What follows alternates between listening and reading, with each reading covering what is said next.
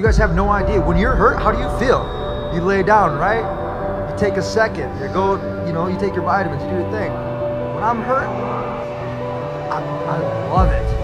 I love that feeling because it's real. That's the most realest feeling that you could ever have.